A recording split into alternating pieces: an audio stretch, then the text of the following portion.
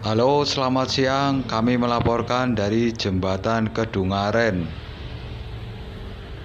Jembatan menuju ke objek wisata Waduk Gajah Mungkur, Kabupaten Wonogiri. Suasana terkini, kondisi jalan sepi.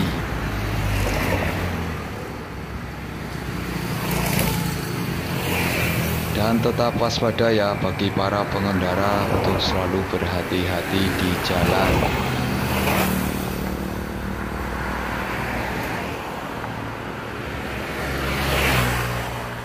Demikian laporan dari kami